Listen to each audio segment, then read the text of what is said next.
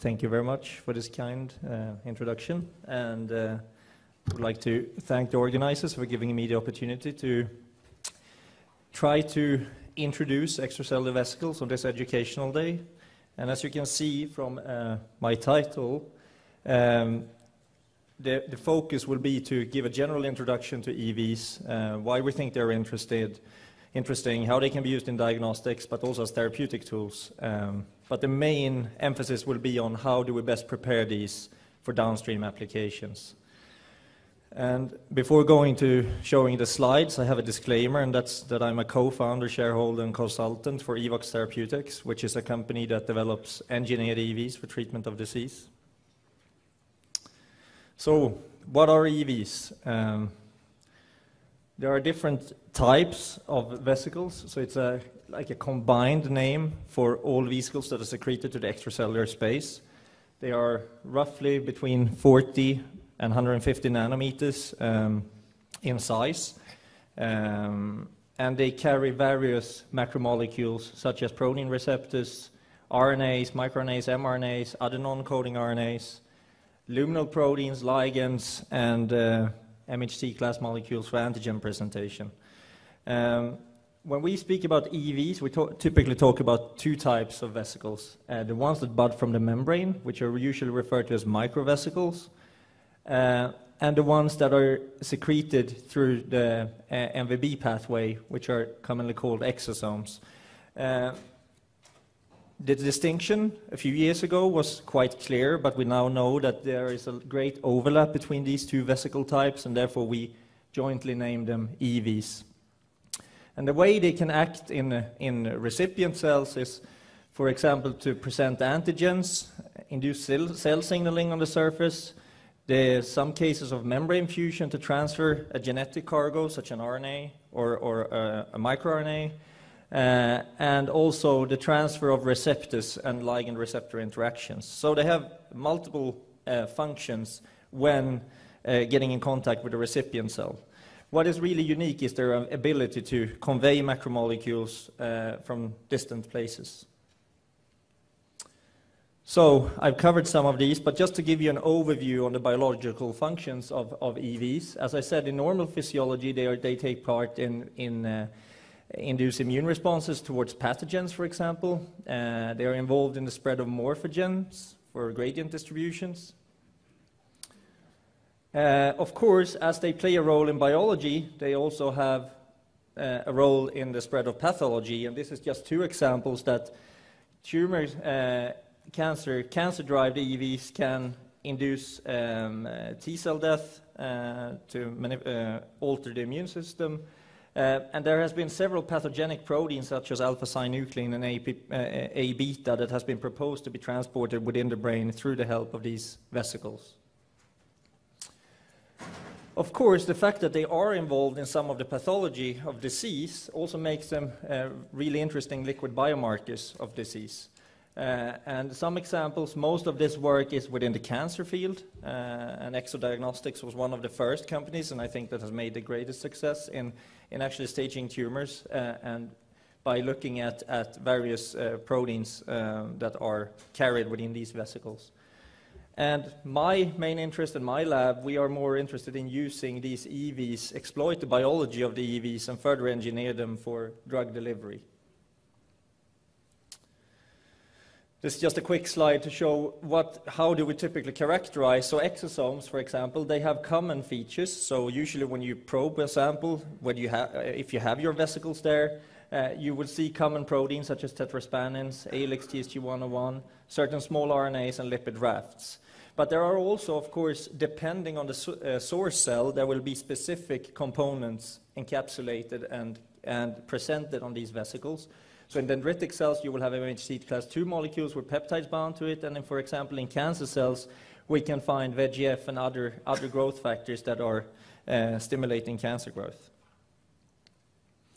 So I think this is a, it's a collaborative work that we published last year with, with guys at Novartis and, and Nicole Meissner's lab, and really why I think EVs are interesting biological nanoparticles for, for drug delivery. And what we show in this paper is basically that at very, very low concentrations, you have an extremely rapid uptake into recipient cells of EVs. So these EVs, they are genetically manipulated to carry GFP and RFP at the same time so that we can trace them in recipient cells. And this kinetics uh, is saturated at, uh, very quickly, this uptake. And what is interesting, very similar to viruses, uh, they seem to enter cells as single vesicles. So in contrast to most synthetic drug delivery systems, which usually cluster on the surface of the cell prior to endocytosis, these enter via endocytosis as single vesicles. And this might also explain this mechanism or mode of action, and especially the fact that we see a lot of the vesicles uh, sca um, uh, scanning rough ER, could explain some of these very interesting publications that has come since back in 2007. Uh, the pioneering paper from Jan Lötvall and also the paper from Johan Skogen and uh, Sandra Brakefield that microRNAs and mRNAs can be functionally transferred uh, from one cell to another through EVs. Uh, and actually, since this initial paper, I did this a month ago, I think there has been now been 1,200 publications showing uh, microRNA delivery or microRNA transfer uh, since 2008. This is a very recent paper that I have put here because I think it's very interesting. It's in vivo showing that uh, adipose-derived circulating microRNAs can regulate gene expression in other tissues. So that really is not something that happens if you just inject, but it also happens in in real life. And this is another very good paper from uh, Jaco's lab on, on, uh, on the uh, functional transfer of, of Cre mRNA uh, in vivo in mice. So I think I will stop there when it comes to the RNA because I believe Joshua will speak a little bit more about how we can use this for therapy, for therapeutic delivery of RNA. Um, the other aspect, of course, in addition to delivery, as I said, they are interesting because they, they take part in, in disease. And I think a lot of the work from David Lyden's lab have shown that EVs actually uh, promote tumor growth by establishing a pre-metastatic niche. And this is his most recent paper where he showed that the integrin combinations on EVs determines organotropic um, metastases of tumors. And of course, uh, similarly, Raghu Kalluri's lab has, has given the fact that these EVs contain signatures from the tumors, they could be used as a diagnostic tool, and they identified glypican-1 in pancreatic cancer cells as a good marker for tumor progression in pancreatic cancer. So, switching gears to how can we use these as a therapy? So, the three areas, the main areas where EVs have been used and where I think a lot of work is going on is in either for antigen presentation, so a lot of the early work in the EV field uh, aimed to, to basically uh, pulse uh, antigen presenting cells with tumor antigens, harvest the EVs and use it as a cell-free product to raise a, an anti-tumor response from the immune system. What has grown more, I would say, over the last couple of years is to, to use EVs for immunomodulation. So by using uh, EVs from mesenchymal stem cell or other stromal cells or stem cell types that we know have an in, in, inherent immunomodulatory capacity, you could use that to, to suppress inflammation. And consequently, it has also been successfully used to induce tissue repair and tissue regeneration. so the way I see, or I think many others as well, with EVs is it's kind of a sweet spot, I would say, EV therapeutics, because it's something in between a classical biologic, an RNA or protein therapy, a cell-based therapy, but it lacks a nucleus, so you don't have the issues of, of, of, of integrations and other things that you would have with a cell-based therapy, and a drug delivery modality. And this is where we try to, to, to work in, in, the, in this area. So I said that it can mimic cell therapy. This is just one example. This is uh, it's just taken from a review that was published two years ago from Nina Heldring. What the reported effects of MSC, mesenchymal stem cell derived exosomes, have, uh, uh, what they can do in, in the body and in recipient cells. And as you can see, they contain a lot of these um, proteins and RNAs that I described before. And what they can lead to is to energy production to support cell survival in recipient cells by providing uh, various, I mean, direct energy, uh, but also uh, pro, um, components that, that provide energy, uh, induce energy production in, in, recipient cells. Uh, they can deliver proteins and RNA. There are many papers showing that they can promote angiogenesis and suppress apoptosis in uh, damaged tissues. They can deliver tolerogenic factors to lymphocytes and suppress immune responses, and it can also stimulate the production of anti-inflammatory cytokines such as IL-10. So they, in, a, in their own right, do have therapeutic potential, very similar to the cells that they are derived from. And these are just three papers that I, that I put here on, on the various effects that has been reported in the literature using mesenchymal stromal cell-derived exosomes. This is one example. It's a, a relatively new paper from Dirk Herrmann, Herrmann together with Bernd Giebel, where they uh, show that these EVs can uh, improve post-stroke neurodegeneration uh, when, when administered, and with a similar potency as the stem cells as, uh, alone.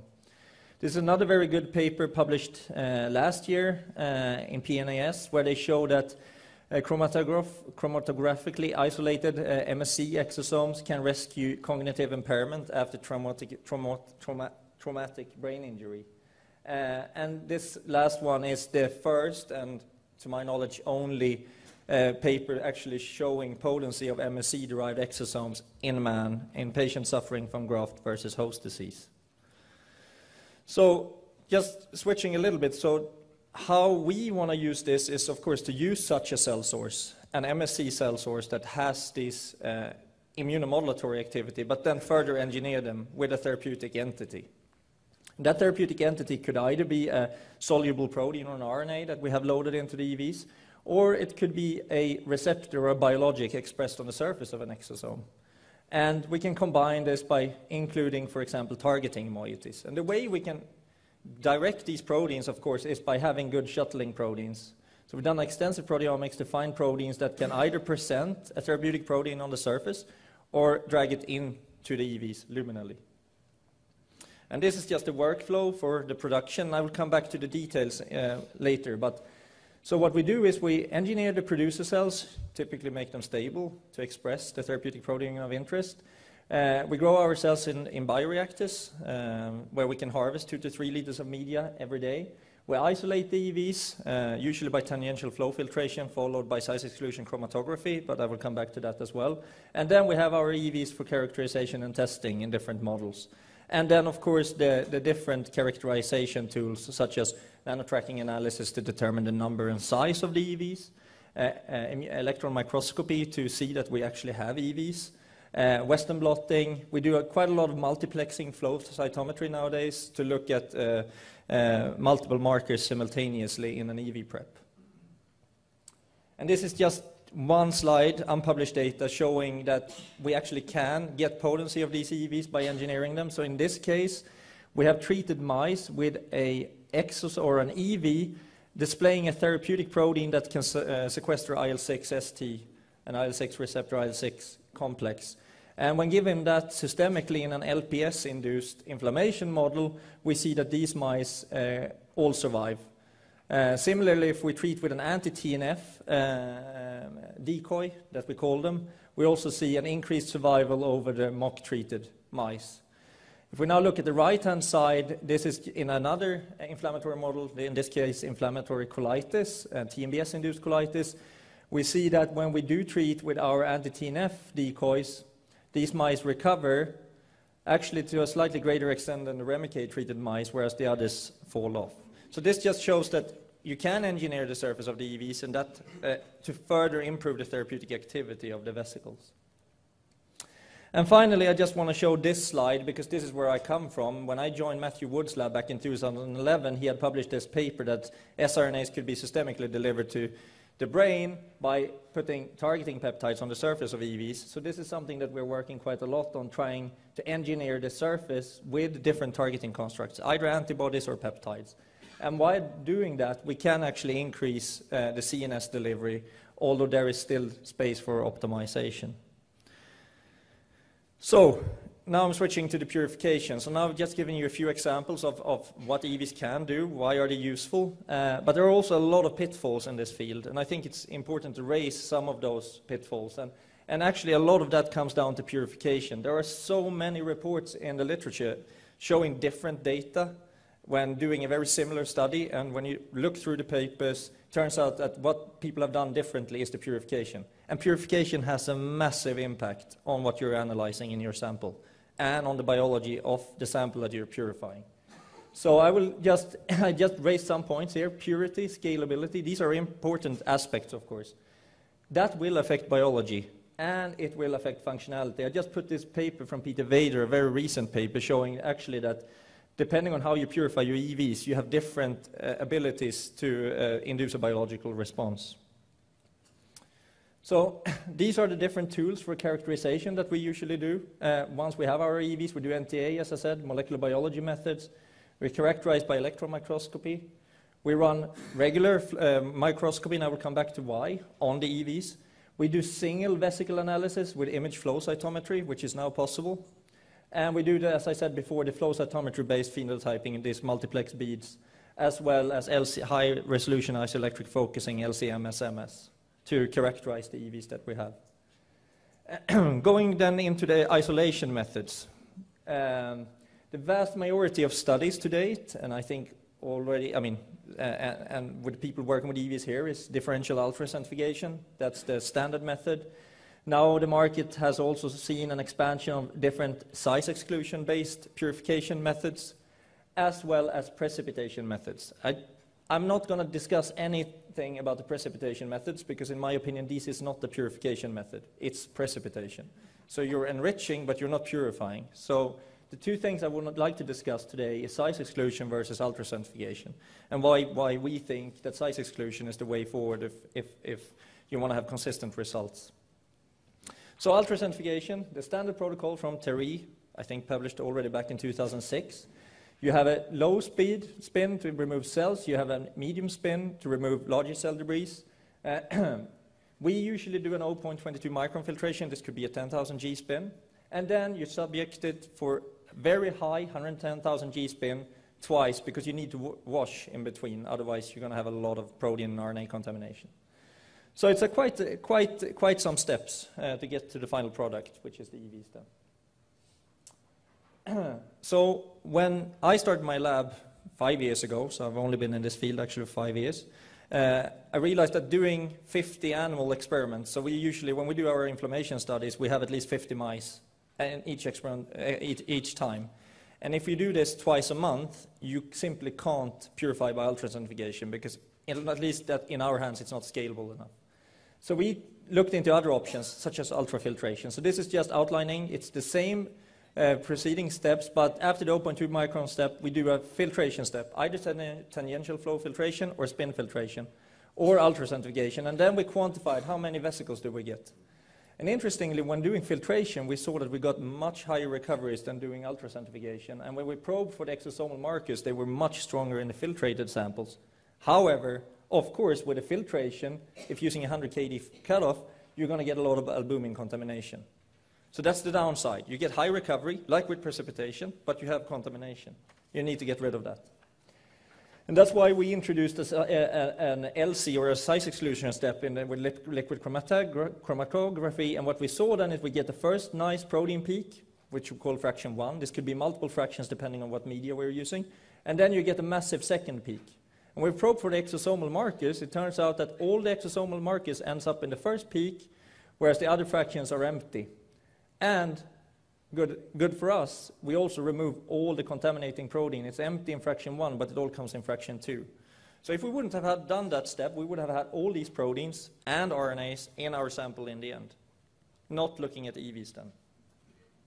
When we do proteomics on this, we see that it's very similar uh, in terms of if we have a very pure UC prep or a very pure LC prep, it's very similar, the proteome of the EVs that we look at. The issue with UC that we have noticed, we've done a lot of biodistribution studies trying to understand where do EVs go, where does EVs from different cell sources uh, travel in vivo. And while doing that, actually by only simple light microscopy, we typically see these very nice uh, bright dots. These are GFP positive exosomes. And this on, we only see that in the UC samples, never in the filtrated and, and chromatography purified samples. And this is what we think because you have aggregation, irreversible aggregation due to the high G forces that you use through the UC spin. And this is also evident from turf imaging. And this actually do affect reproducibly biodistribution of these vesicles in mice because we consistently see a greater accumulation of these vesicles in lungs of mice injected if using ultracentrifugated uh, uh, samples. So we, think, and, then the, last point where we struggled with the ultracentrifugation is we do a lot of, we did a lot of uh, embryonic stem cell and induced pluripotent stem cell derived exosome work. And while doing that, you use very complex media. Yes, they are, um, they are serum free, but they are certainly not protein free. They are actually much more protein rich than a 10% serum that you would use. And what happens if you do a UC on any of a, mouse, there's media that we use for mouse cells or human cells, and we just run a Ponzo, you see these massive bands. This is proteins that are pelleted just by the fact that you do an ultracentrifugation. And you get extensive amounts of particles just from the media. So if you then have the conditioning of your media, how will you distinguish? If you instead use the LC method, what you will see is that you, if probing for the, pro, the total number of particles, they elute in the first fraction and then they go down. You have the particles as I showed because you have it from the media. And then the protein quant goes in the second fraction. So when we then look at the total protein staining, we see that we have a fairly clean first fraction, which also contains all our EV markers. And we are losing out on these contaminating components from the media. So that's another important consideration if you want to do characterization of, of EVs from cells that need to be grown in these specialized media. You also need to consider how to, to purify it. So the conclusion is just that that we can purify vesicles with improved purity, uh, by physical integrity and yields compared to the ultracentrifugation. And of course, this method is scalable. How much do I have left? Oh, perfect. Good, then I have some time. So, uh, I would like to spend a few minutes then on wh what we've learned about the secretome of cells by actually switching the method of purification. And I think that can have Uh, could be interesting for people, especially people working with microRNA analysis or microRNA transfer experiments. So this is a quite busy slide, but I, I, will just highlight. So in this case, what we do, we use either a size exclusion purification, as I described, or we have now switched to something called bind elute size exclusion. So instead of just, in just separating by size, we also separate based on charge. So Smaller proteins will go into the beads and get captured, and the EVs will elute, and we get two fractions. And while doing this, so if we, we first do a, filtration step, tangential flow filtration, uh, and I just want to show you the protein elution profile from such chromatography experiments. You see that you get a very a strong protein peak when you have the purified samples, and then it's nothing else. Whereas if you only do the filtration, so not having the cleanup step with the, the, the column, you see that you have a lot of protein. And that's what I showed you before on the, on the Ponzo stainings. What is interesting, though, is rather looking at the RNA elution profile. Since we are all interested in, or many people are interested in extracellular RNA, it would be good to know where actually are these extracellular RNAs. And when you purify by filtration, you see that you get this massive RNA peak. But when you then do the size exclusion step to really isolate the EVs, you are losing out on a lot of the RNA. And that's because a lot, uh, the vast majority of the small RNAs at least, uh, in those, these preps are not inside EVs. To further prove that, this is uh, unpublished work from Peter Vader's lab. We have done a lot of overexpression experiments with, with microRNA, uh, microRNAs to try to load EVs and, and then done size exclusion. And what we see here is the common elution profile, fraction 1, where we get our exosomes and then the contaminating fractions. We see that we get all our particles in the first fraction, which is where we have the exosomes. We also get the exosomal marker in the first fraction, not in the other fractions. And the particle size is pretty much like what you expect from an exosome prep. Interestingly, if looking now then for this overexpressed microRNA in fraction 1, the level is exceptionally low. It's higher in fraction 2, it's higher in fraction 3. In the flow-through, meaning the one that, that, that we don't harvest because we do a 100 kD initial filtration. There is massive copy numbers of this given microRNA, which people will miss out on because that would never be purified because you wouldn't look at it. So actually in this case, we counted that we have 1 in 8,000 is in EVs. Very similar, looking at endogenous, let's 7b in this case. Doing the same fractionation, but not saving the, the, the 100 kD uh, flow through, you see that the microRNA let7b, very low in fraction 1, very high in the other protein-bound fractions when you do the size exclusion separation. Of course, mRNAs, though, they are always exclusively find, found in the vesicles. I don't think there is a secretory mechanism for mRNAs, but for the small microRNAs, there must be a parallel mechanism of secretion. When we do small RNA sequencing, which we've done for now, I think 20, 20 different cell sources, this is very, this is just for HEK cells, but this looks very similar across all cell types except for MSCs that has slightly more microRNAs. So if we look at the small RNA portion that you actually isolate with this ELSI method, what you will find is that most of these RNAs are, are uh, ribosomal RNA fragments, and very, very little of them are microRNAs. In MSCs, as I said, we're probably up at 5% here, but otherwise it looks very similar. And I think others have reported this as well. Uh, if we look at the rest of the secretome, it's predominantly tRNA fragments. So if we would pool the other fractions from the LC, it would be mostly tRNA, but I didn't include that here. but this is interesting because if we then, then we did high, again, high reef uh, LCMS on our exosome preps, trying to correlate the protein content to, to, to the non-coding RNAs that we find. And very interesting is that RNA binding proteins in general in those proteomics runs are overrepresented. But the microRNA binding proteins are massively underrepresented. We do not pick up AGO2 in clean preps. We do not see GV182 in clean preps of EVs. So what you do find, though, is ribosomal RNA binding proteins and mRNA binding proteins. They are very high. And that links pretty well with what we see with the sequencing data. So this is just to give you an example then how could we enrich for a given microRNA. So I will just not spend too much time here. But as I said, AGO2 is basically absent in EVs in most EVs that we have looked at, except the subclone that uh, was described in the Mello paper, uh, MDA, the MDA cells, there is some AGO2. Uh, and we have the exosomal markers. If we then overexpress AGO2, we do get some into the EVs, but it's not much. But if we put a, a, a tag which will direct AGO2 to the exosomes, we start seeing more of AGO2 inside exosomes. And if we at the same time co-express with a microRNA mimic or an shRNA, we see massive enrichment of that given shRNA or microRNA into the EVs. So our conclusion is mere overexpression of microRNAs, at least in our hands, is not really sufficient to drive enough numbers into the EVs. But if you do that in combination with an engineering approach, you may, may, may reach sufficient levels. So as a, just as a summary then, since I have two and a half minutes left, uh, so this is the workflow that I would propose, or the workflow that we are using at least for the EV work in, in, in our lab. And we, this, we are either growing cells in 2D cultures, but mostly now changing to bioreactors because hollow fiber systems, you can have a lot of cells. Uh, the media is pretty clean, uh, and, and it allows you to generate enough EVs if you want to do therapeutic uh, experiments.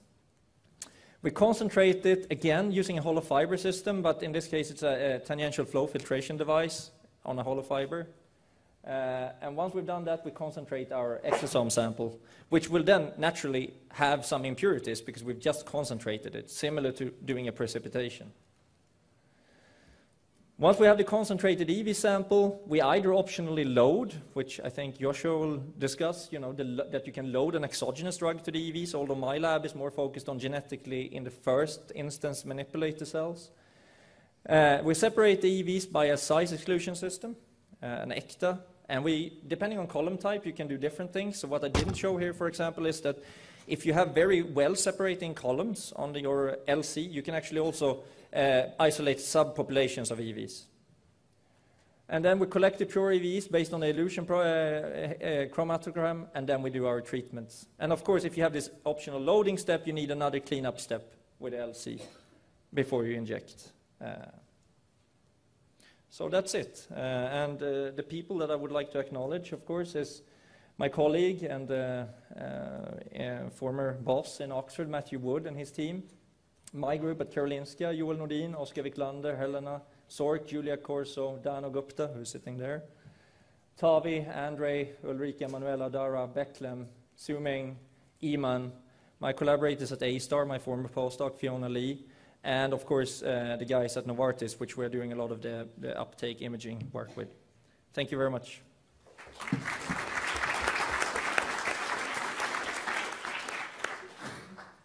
Thank you, Samir. We have time for a few questions.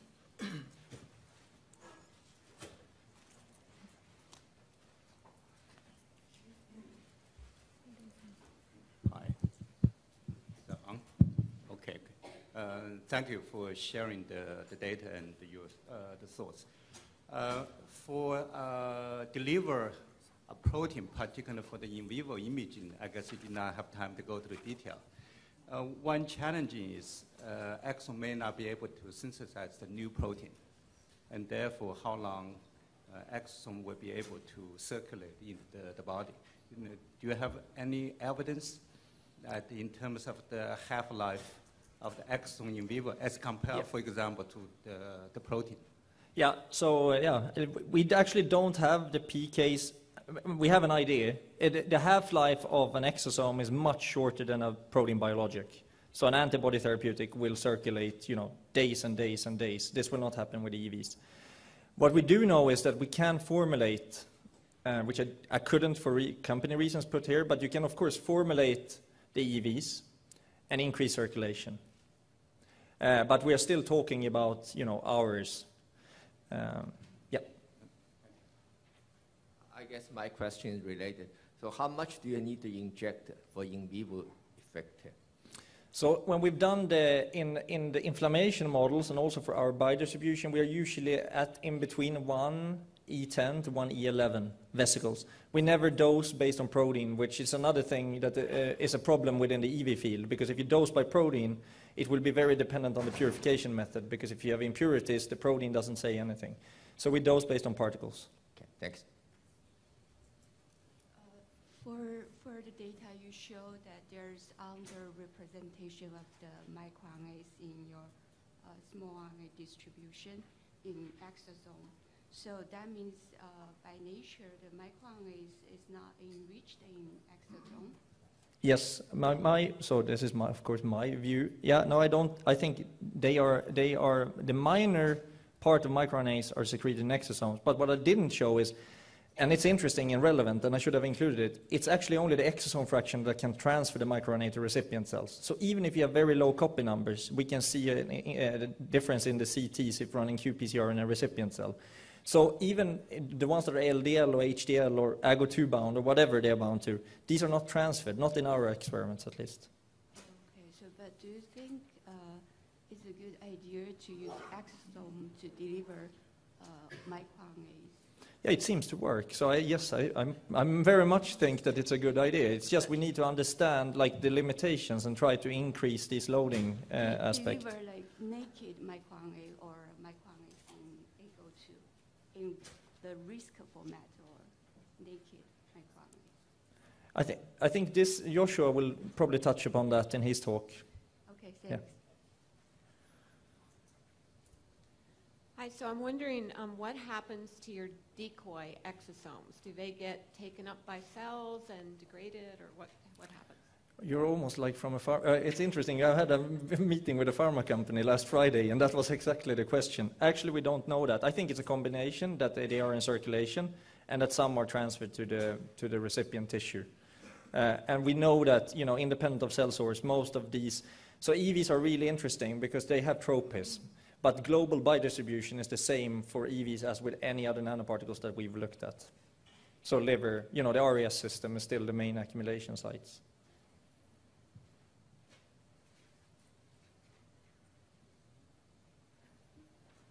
Have you had an opportunity to compare the commercially available columns with the strategy you're using? And Yeah. Yeah. Yeah, so uh, I, I don't know, shouldn't probably not make uh, adverts here, but I think the, the, the ISON columns are pretty good, especially if you want to uh, use biological fluids, plasma and so on. I think Rink Newland, who, who was the, actually the first to really emphasize the work on, on size exclusion, did a good job there. So, uh, but they are not scale, I mean, they are not, they are good for certain things, but not when we have massive sample preps, and, and, and they are quite easily saturated if we have a lot of EVs. Uh, I think what we propose is, and, and also, of course, we want to, at some point, hopefully, be able to use this clinically, and then we need a closed system of purification all the way. I have a comment actually. So you, one of your slides showed that uh, if you use the ultracentrifugation method, you're getting, you think you're getting more aggregates, and that's why the biodistribution changes. We've seen, actually, when we labeled extracellular vesicles and, uh, with bioluminescence or, or Hmm. fluorescence, and we inject them to the mice, we, we actually see this, we see the same thing. So we see a lot of them go to the lung Yep. and spleen. Yep. So most likely, you're saying that because we're, and we pro- we did purify them with ultracentrifugation. Yep. So most likely, we're getting that because of these aggregates. Yes, that's what I believe. Because with, with, with the LC, we see so low amounts in the lungs. So from therapeutic perspective, this could be a problem, right? Because these aggregates could Yes. probably lead to toxicity or other things. Yes, that's what I believe. And I have a question. So, what would be the functional role of ribosomal RNA transfer? Yeah, it's a good. Because it's already like the, the main RNAs in a cell. So, um, like- Yeah, I think it, maybe it's also, again, this direct energy or providing, uh, you know, it, everything that's translation related is upregulated in the EVs, especially if the EVs are, uh, the cells are under stress condition. So I didn't show that here, but we've also done a lot of proteomics where we, you know, induce different types of stress on the producer cells, and then you will see uh, geo, geo enrichments coming up that are basically protecting against stress. So I don't know if that could be uh, the explanation. like a burst of like Yeah, I, that's what, how I would interpret it. Thank you. Thanks. Thank you, Thank you.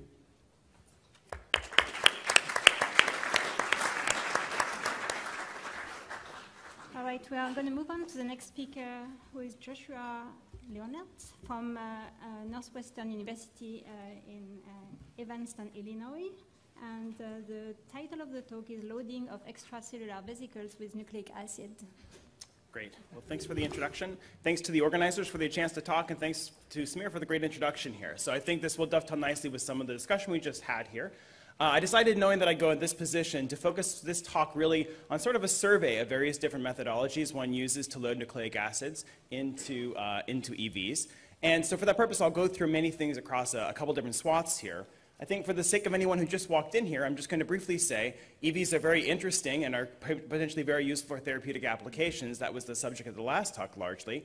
And uh, at a high level, we can think about these EVs as being divided into subsets called exosomes, which originate in the endosomal compartment, and microvesicles, which originate at the cell surface. But as we just talked about for the last half an hour, that is a vast oversimplification having to do with both the heterogeneity of the vesicles and the methodology by which we isolate these populations. So everything I say is caveated with that observation, that there's a lot of difference within these groups, but rather I'll talk about kind of the general trends we see across these different methodologies here. So um, the subject of this talk is looking at nucleic acid loading, and I'm going to organize the talk into a couple of different sections here. So the first part, I'm going to talk about what we know, to some extent, about natural loading of nucleic acids into vesicles, and I'll uh, talk about a few things that are similar and different to the last speaker here. I'll talk about why that's so important from a therapeutic perspective, and really the last two sections then are thinking about how do we actively increase the loading of certain cargoes into EVs for therapeutic purposes. So the first part here is understanding the rules, or what's been done really to help understand the rules. Uh, I'd argue that of all the aspects of exosome biology or EV biology, RNA loading and nucleic acid loading is perhaps the most well studied, but there are still a lot of big questions here. So we're going to try to focus on those and how they might impact applications as well. So uh, the first thing I'm going to do is claim that understanding natural EV loading is crucial for translation of EV therapeutics, irrespective of how, at the end of the day, you try to load nucleic acids into EVs. And the reason is understanding by the processes by which uh, these natural loading events occur could be useful for developing and optimizing production or for figuring out what you should monitor during production, but also because, of course, EVs have intrinsic biological activity, and it's still a relatively important and open question as to how that's going to impact some of the things we're trying to accomplish with EVs as therapeutic vesicles. Those naturally loaded microRNAs and so on may have effects that are beneficial or, or not, depending on what application we're looking at here. So, why do we, what do we know about natural loading mechanisms? So, as was mentioned last talk, some of the earliest work in this area looked at essentially discovering that microRNA, the RNA was present in these vesicles. And this is from uh, a, a, number of authors, uh, Sandra Breakfeld and Jan Lutfall's group showed that, for example, there are RNAs present in these, and that in general, the RNAs inside the vesicle population was shorter than what you find inside of the cellular RNAs. They reported a variety of different types of, micro, of RNAs, sorry, that could be identified into those, uh, into those populations. And in, this methodology, anyway, few ribosomal RNAs and DNAs were detected in those vesicle populations. So the general observation at the beginning of this field was that there seems to be some sort of sorting mechanism involved here. And we've done a number of studies since then, the field has. And I'm just mentioning one that's relatively recent here that uses a systematic sequencing analysis here. And in this case, these were vesicles derived from a co-culture of dendritic cells and T cells. And I'll just show you a couple of different stories uh, or lessons, really, that this sequencing analysis uh, showed for us. So the first is that with this highly sensitive sequencing analysis, nearly every type of RNA you can think of was identified to some extent in these vesicle populations. Now, the relative abundance was again not the same between the cells that produce the vesicles and the vesicles themselves, so that lesson is consistent. If you stare at this long enough, you can see some rank ordering. And again, I think the lesson we're finding is that that ranking may be different between different cell types, but some general trends may be more similar. And so, in particular, if we look at microRNAs, there is this very dramatic effect, though, that even within a given type of RNA, the abundance does not predict the loading. And that may be a little different than, than how we talked about this a moment ago, or another facet compared to what we talked about a moment ago. There appear to be mechanisms that discriminate between RNAs of the same type. And that's one of the general lessons that we're really interested in trying to focus on now, particularly if we're interested in excluding or including one of those types of cargoes into our ultimate product here. So uh, if you kind of look at this at a quantitative level, this is a nice study kind of finding out how many RNAs per vesicle really do you get. And of course, that's important for looking at potency and efficacy of an EV product. And so in this analysis here, we look at a series of rankings of different microRNAs from a number of different sources here. So if you guys can see the pointer on the left here, this is just showing this methodology was applied to a number of different types of producer cells. And then in each one of those cases, looking at the highest, most abundant microRNA present in one of those populations and saying what, what quantitatively, though, uh, is the number of RNAs present per vesicle in any one of those most abundant microRNAs here. And the take home here is that even those really abundant microRNAs are present at, on average at far less than one copy. And this dovetails with what Samir told with some of his own data as well. And there's a couple different ways to think about why this is. Uh, this is a nice conceptual model proposed here. So we know from all the analyses we've talked about that reality lies somewhere in one of these bottom two models here. Uh, what we don't know yet are whether that rare microRNA is sort of randomly distributed through these EV populations or whether there are single uh, EVs that have large numbers of particular types of RNAs here. And again, that might suggest a different approach as to how ultimately we either bias production or bias purification at the end of the day to get the effect that we want. And so this is a nice conceptual model which, which hasn't been demonstrated yet, but, but is an active area of investigation as, as was mentioned.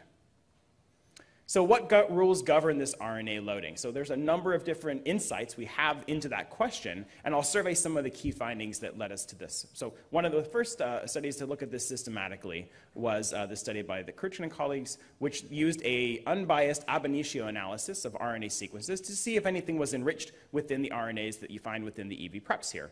And uh, the three plots I'm showing you here are, th three curves I'm showing you here from their paper are three sequences that were found to be highly enriched in these EVs compared to in the producing cells. And they used a nice uh, quantitative rank ordering to identify those sequences.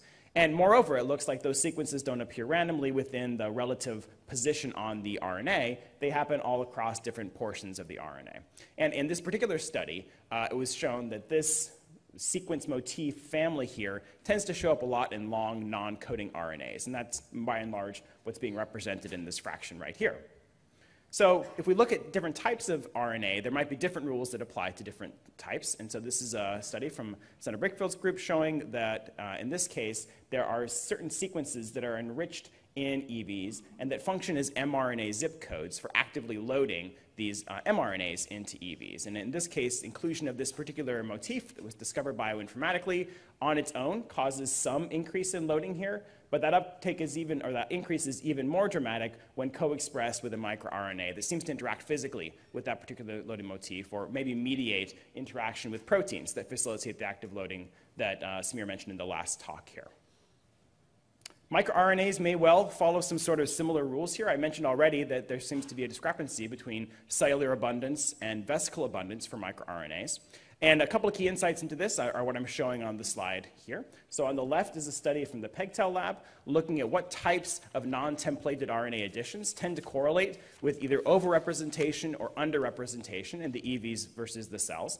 And these are two motifs that were identified. So in this case, this 3' adenylation of microRNA seems to lead to enrichment in the cells, maybe retention in the cells instead of in the EVs, whereas this 3' uridylated uh, uh, and microRNA are enriched in the secreted vesicles compared to the cells.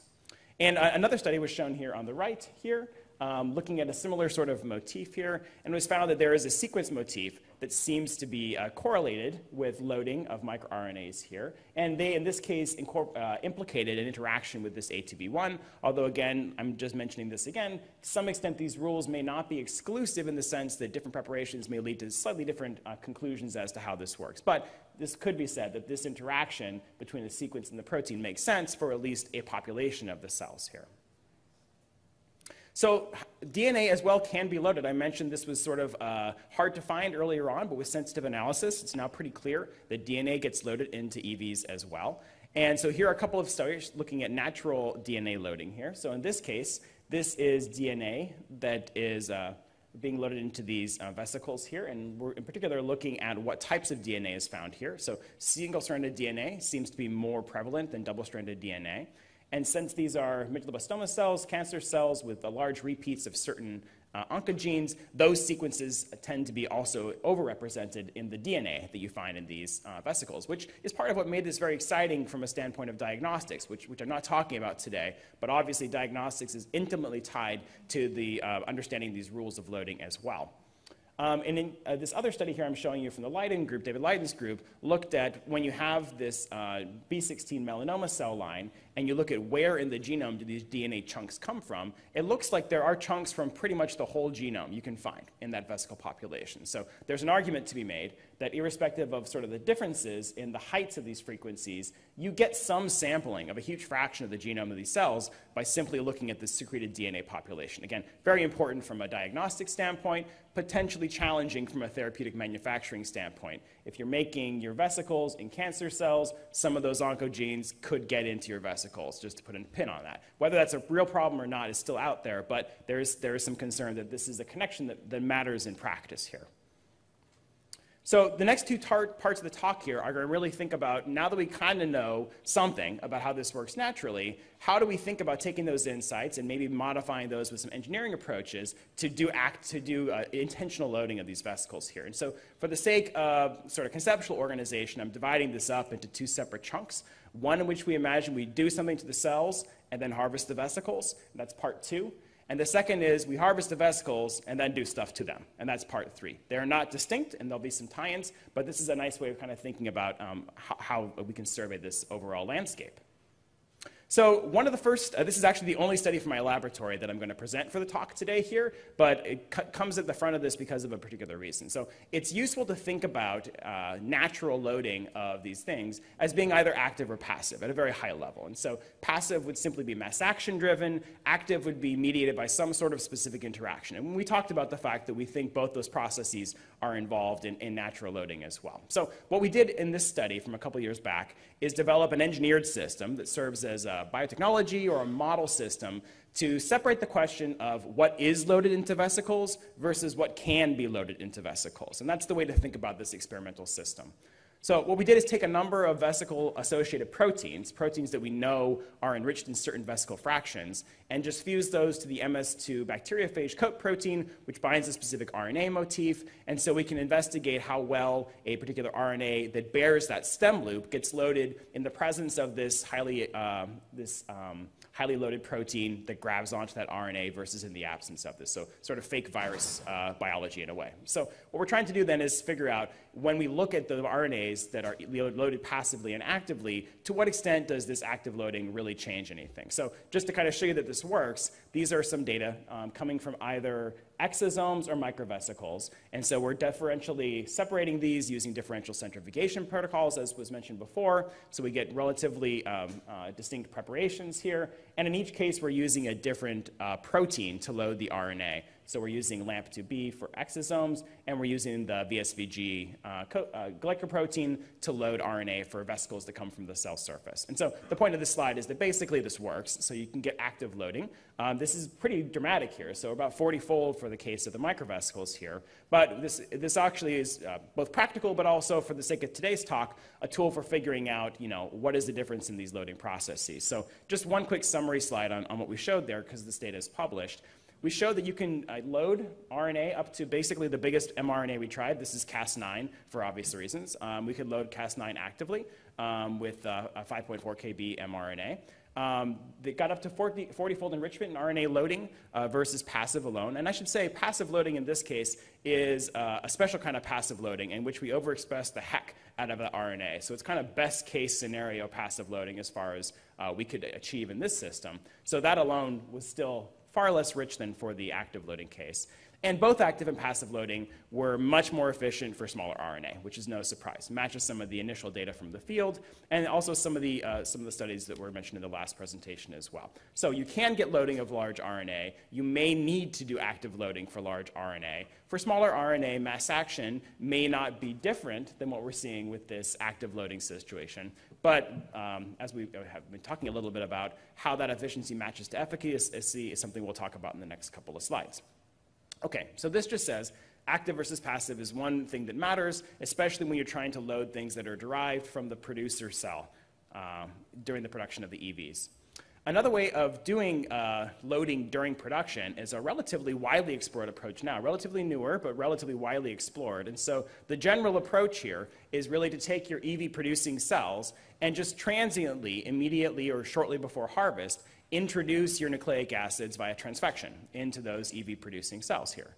And so the cartoon is just showing us some generic transfection reagent, loading some RNA, or in, in this case RNA, into the cell, waiting a bit, and then harvesting the vesicles that come from this. And so there are now a number of different approaches that, uh, that do this. I point you towards this nice review uh, from a few authors we've been speaking about here that talks about some of these studies. They all show kind of the same thing that I'm showing here, which is that you can do this with pretty much any type of RNA cargo or any type of uh, nucleic acid cargo, probably. Uh, a big unique advantage of this approach is that you can use chemically modified nucleic acids for stability or tolerability, immune tolerance. To do that, you really need to use something kind of like this, and where you're producing these things in the cells here, uh, although we'll talk about one alternative later on as well. So some challenges, though, are that once these RNAs get into the cell, you're still subject to the same rules of passive loading that I talked about in the last slide here. And so what's been shown so far is that your efficiency of loading these RNA into the vesicles is still relatively low. Uh, it, it, it, happens, but it's still relatively low and an opportunity for, for improving this approach. Uh, the other thing that gets challenging is if your cargo impacts the biology of your EV producing cell, then that may be bad. Uh, in particular, if that lowers, in some extent, EV loading or causes the expression of inflammatory genes that may be transferred along with your product, that's one layer of biomanufacturing complexity that hasn't been sussed out yet with this approach, but would ultimately need to be part of doing this. Uh, scale up can be a little challenging with this as well. I think Samir did a great job of talking about how that is at the heart of some of these questions here. Uh, and for example, if you're going to transiently transfect before you produce, that can be done at large scale, but that's more challenging than if you're simply growing your cells um, under, under high density cultures here. And the final concern that I put in bold here, because uh, many folks, including the authors of I think every one of these papers, has raised, is that the inclusion of transfection reagents in your production step means that you'll probably have some of those transfection reagents in your final preparation. And, and, the reason is they, they partition into the membranes here. They sometimes form particles that are difficult to separate um, from the EV particles. It may be a solvable problem, but it's certainly something that one should think about if considering this methodology here. And there's some active work at trying to actually solve those problems uh, as well. So another way to think about this question of loading is of loading nucleic acids is you can use tricks from other systems here. So this is a study coming from a Casey McGuire's group, and he'll be speaking tomorrow morning at an exosome section, so go to that. Uh, this is a technology called vexosomes, which is a great coinage, by the way. I, I, always give props to that. But the vexosomes in this case are exosomes loaded with viruses, and in this case, they're loaded with AAV. And the nice, uh, the nice thing about this is you don't really have to do anything to cause the vesicles to be loaded with AAV. You simply harvest the secreted vesicles instead of lysing the cells to retrieve the particles. And so this uh, was shown to be effective. It potentially shields these viral particles from the immune system, which of course everyone in this audience will appreciate. Um, manufacturing is a challenge in this system as well that's being investigated, but this is potentially a way of loading nucleic acids indirectly and, and, maybe even having some effect enhancement, which is uh, sort of beyond the scope of what I'm talking about today. So the final, talk, uh, final section here uh, of my presentation is going to be loading nucleic acids after you've already harvested the vesicles here. So in general, this cartoon just kind of reminds you that there are these two different ways of loading. So everything we've talked about so far involves stuff you do to the cells, and then you harvest the vesicles. And if you're going to load things after you've harvested the vesicles, there are pretty much uh, two main ways of doing this. You either have to use a cargo that naturally partitions into those vesicles. So, for example, hydrophobic uh, compounds can, can diffuse across that membrane and get into the side of this for drugs, which we're not talking about today. But everything else involves some sort of perturbation that loads those RNAs into the vesicles here. And so I'll start with the one that you see at the top of the slide there. So electroporation is, by and large, the most widely explored methodology for loading uh, things into vesicles after they've been harvested here. And as you know, the general idea here is the application of this electric field transiently disrupts the wall, or the, the membrane of the vesicle, and enables mass action driven flow between whatever's outside the vesicle into the vesicle here. And so, of course, one thing to think about before I show you any data is that vesicles are very small, their environments are very big. This works best if you have very high concentrations of things on the outside in order to have any chance of getting mass action driven loading here. Uh, but nonetheless, this is a methodology that's been, that's been pretty widely tried and used to successful ends in several ways here. So, um, one of the challenges with this approach that's now been widely explored, uh, included by Matthew Wood's group and a number of others who've studied this in, uh, in subsequent years, is that I, I, mentioned why electroporation might not be expected to work too well using this mass action argument. That's been done well mathematically.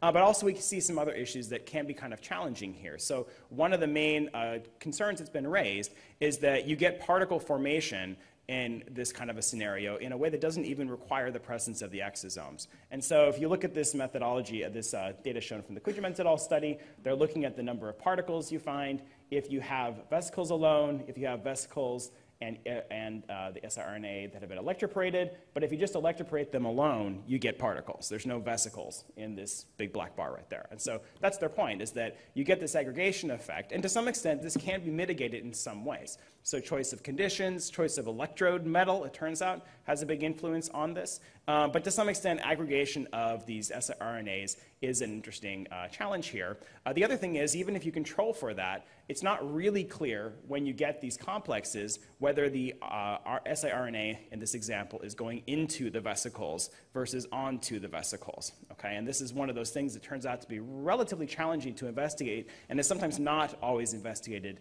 um, as well as maybe it could be here. And so we don't know whether the effects that we're seeing, which by the way, um, I'm not going to show you, but some of the effects in the literature may well be due to the problems I'm mentioning to you. So that may still confer a functional effect even within the context of the limitations I'm mentioning here. Big area that we're looking at, but, but this is a, a pretty, pretty well characterized space at this point. Uh, the other thing is that it looks like some cargo RNA may not be particularly well loaded by this approach, and especially as things get larger, that starts to make sense. But even relatively small uh, microRNA, for example, don't go in all that well by electroporation, and a few reports that have looked at this systematically. And so maybe there's a better way to get cargo like that into the vesicles. Uh, a recent and, and pretty cool uh, uh, other way of loading things into these vesicles was reported by Stephen Jay's group.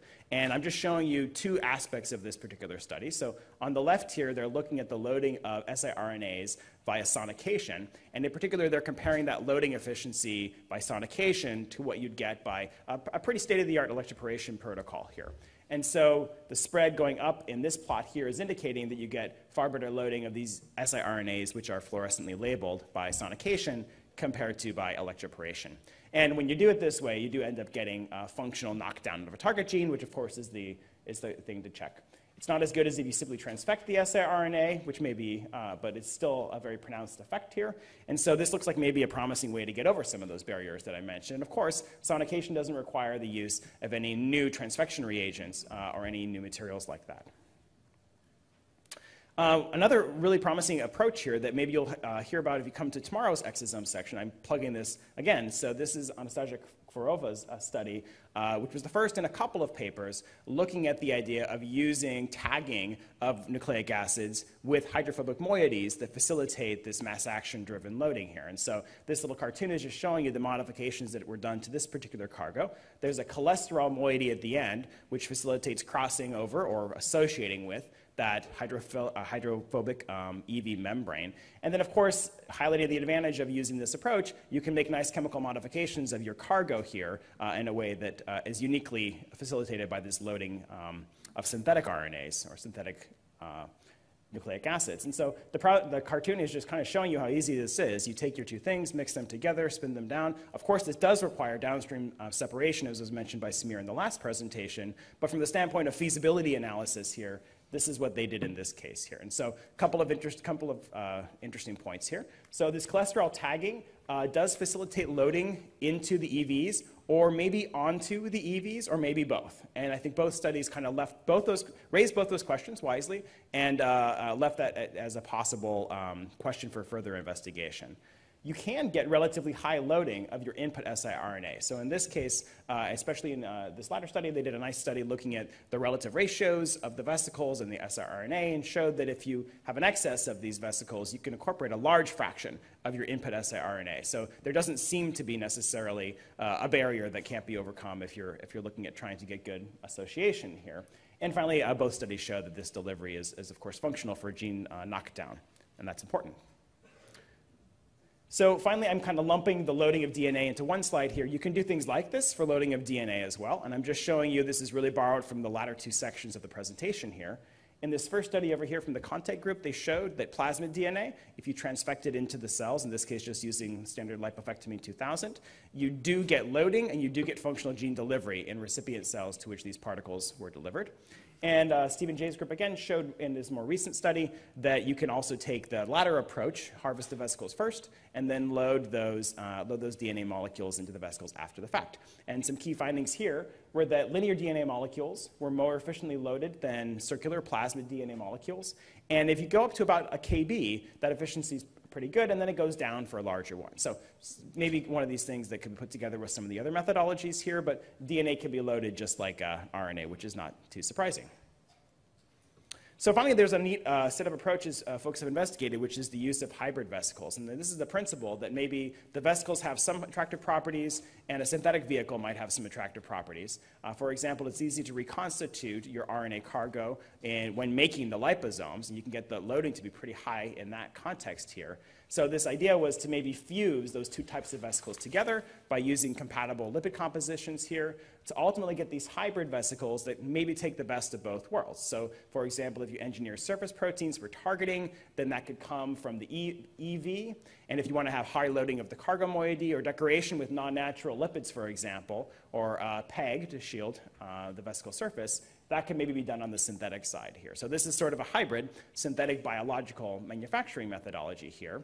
Um, of course, there are some challenges that come with this as well, which is, of course, you retain the, all those lipids from both the sources here. So you have both the advantages and disadvantages of both of those. And it hasn't been totally fleshed out as to how that, um, that particular facet impacts things like toxicity, biological activity, potential for fusion with recipient cells. That's not the context of this talk today, but fusion of your vesicle with the recipient cell is limiting in, in every study that's been really looking at that question so far, much as it is for nanoparticles and other uh, sort of delivery technologies. Uh, we know it happens more for some types of vesicles than for others, but how this could maybe be used to improve that hasn't really been uh, too systematically explored yet.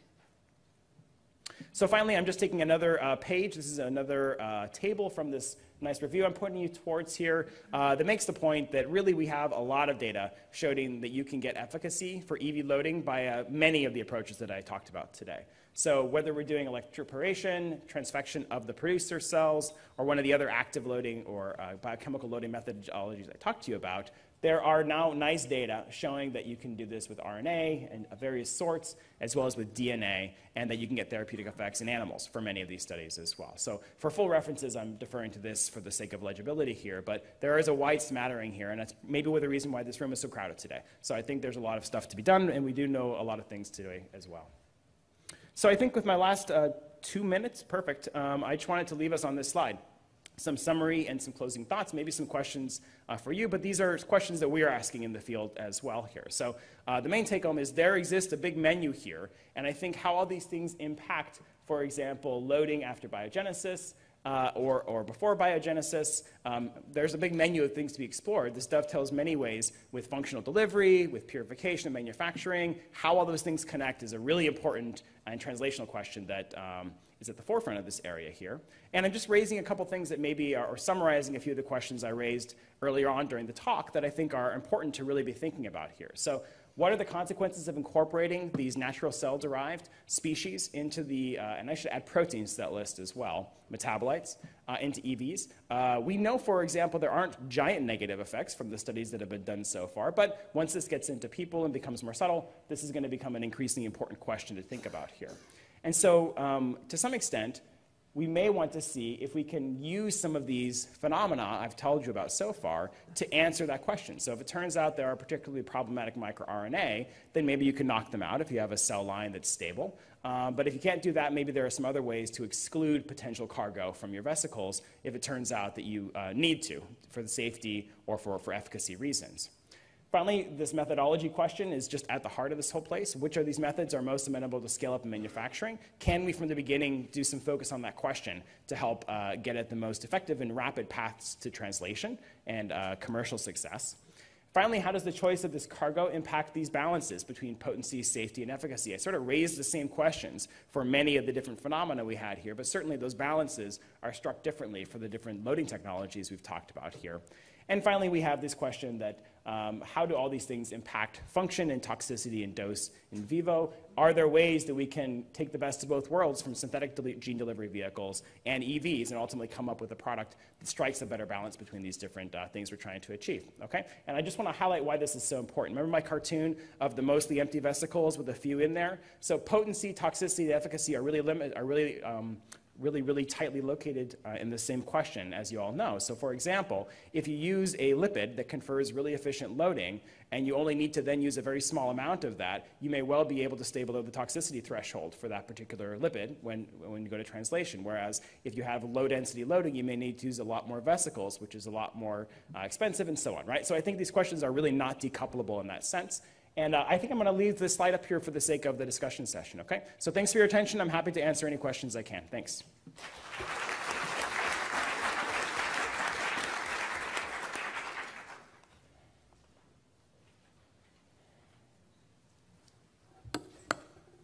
I have a question about the hybrid vesicles. Mhm. Uh, looking at from the other side, what is the advantage EVs bring to the, for example, lipid nanoparticles? Right. So some of the major advantages, as, as uh, Samir highlighted, were that there, some of these issues of toxicity and maybe stability in vivo seem to be advantageous for these vesicles. There, there's some evidence also that particular types of delivery are more efficient when mediated by these vesicles. And, and to some extent, that may have to do with protein-protein interactions between EV proteins and recept, uh, receptor cells. And to some extent, that may have to do with lipid composition, and we don't necessarily know what, that rules, what those rules are. But I think that's the idea, is really safety, gene efficiency, uh, gene delivery efficiency, and I mean delivery to the cytoplasm in this case, may be advantageous for the vesicles at this point. And of course, I mentioned some of the advantages of the other approach as well. So my question kind of touches on some of your open questions, but mm. has anyone looked at the difference, or the magnitude of the difference between the undesirable components that are in the vesicles um, when you were manually loading after purification? That has been studied to some extent, I would say within a given case. And, and, maybe there is a different answer for different cases. But you can do, for example, you know, dose escalation studies and look at the incidence of this. I think for most of the studies I'm showing you, they're in the last year or so. That hasn't yet been systematically evaluated. But my guess, I mean, that's pointed out by the authors as a question in need of study. I suspect those are on, under active investigation by some of those. I have a comment actually on the active loading. Great. So you mentioned they, uh, you can do up to 5.4 kilo bases. Right. So, but how is that compared to, uh, for instance, overexpression in the cell or transfection, what you, what you did before, before uh, picking them up? Because I thought the size would be much lower in that case. Yeah, so, so, that's the, so that's the slide from my group, from our paper, just to remind everybody what that question is. We were trying to see the effect of active loading versus passive loading. So in that case, the passive loading is under conditions of really high overexpression.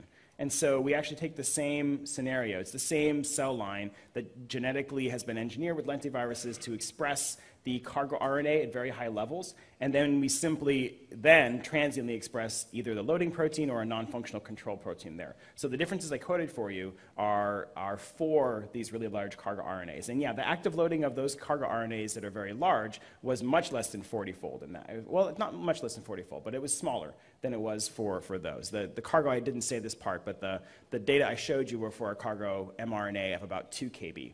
Um, for that study. And one thing I should say is that in that paper, we also looked at both full-length mRNA loading, which are the numbers I quoted, and also fragment loading. And so the other part of that story is that the fragments are loaded way more efficiently than the full-length mRNAs. And in fact, that seems to give us a lot of insights into these size rules as well. So you load, your, your representation of fragments in the vesicles is far higher than your representation of, of those fragments in the cells. And that's true for both active and passive loading. Seems to be um, uh, an effect that goes with that methodology too. And how does the active uh, loading work? Is it, so you mentioned you use VSVG, for instance. Right. You just mix things together and it just happens because some charge is involved?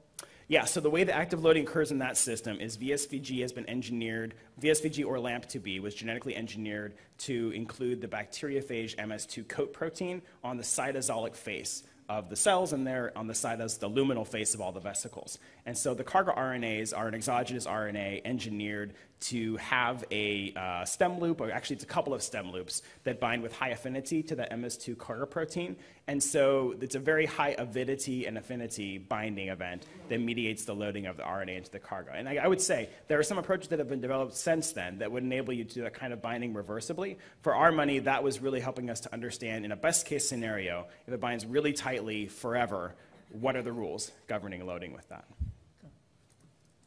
Has any has anyone compared the the EV system to viral vectors?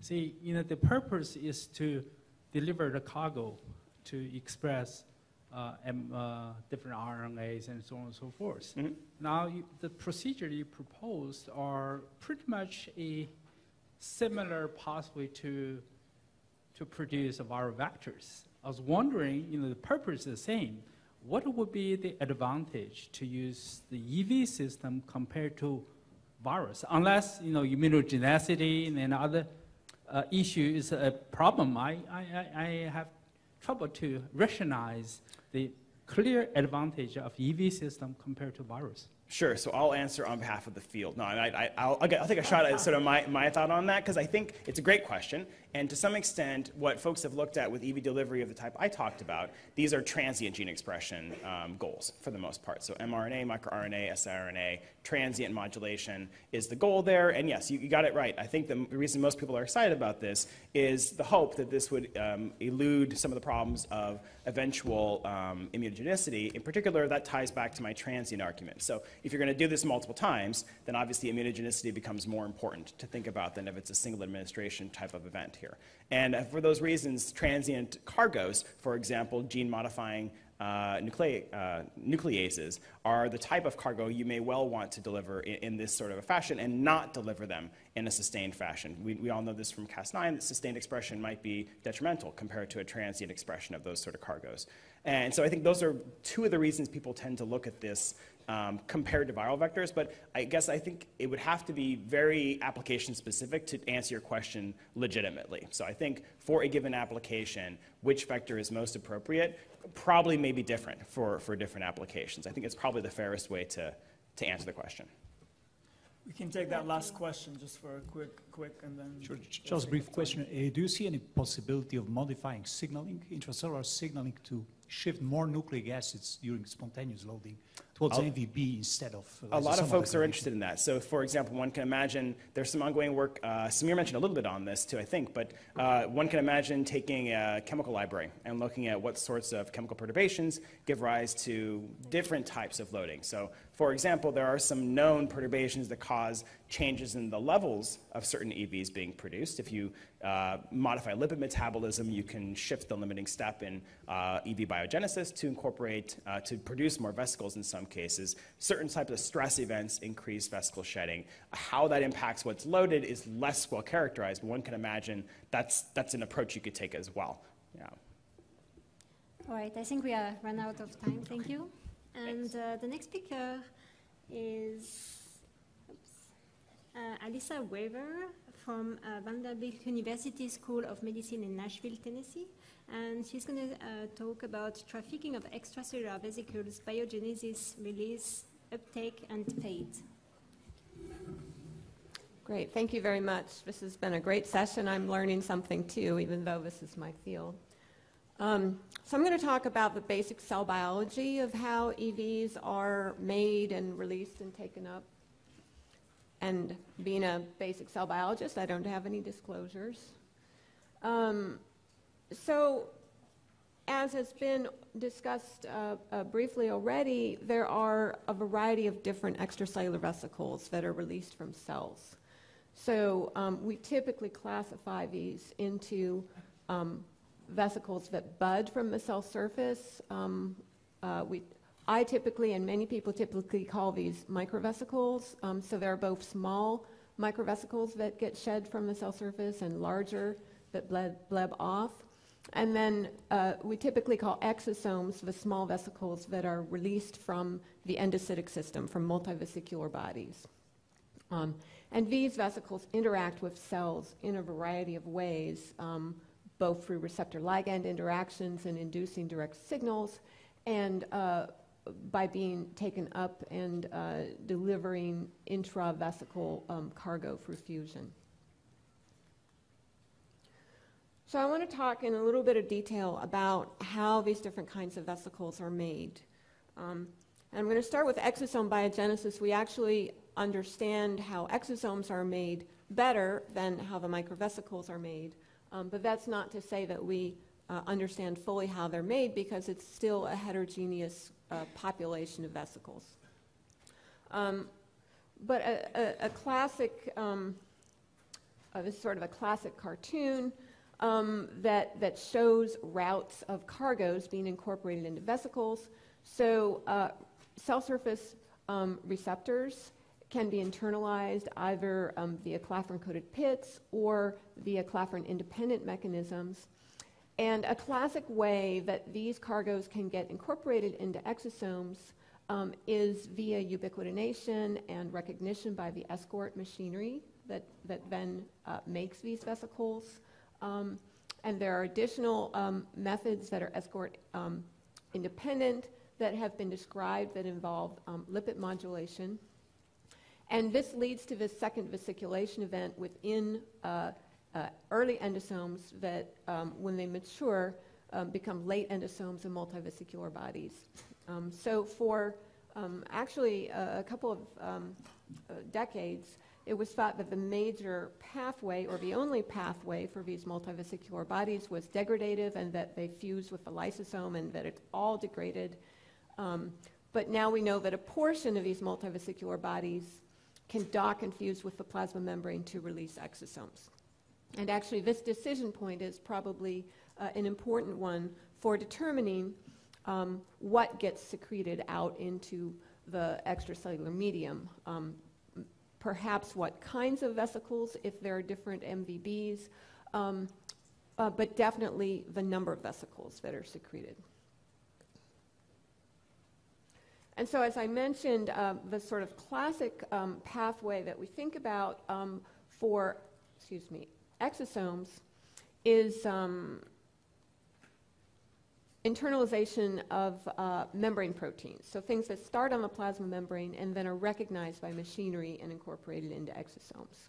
So if this is now the cytoplasm and this is the inside of the endosome, um, this vesiculation event uh, utilizes um, the, uh, can utilize either the escort machinery or uh, more recently described other machineries to cause this vesiculation event.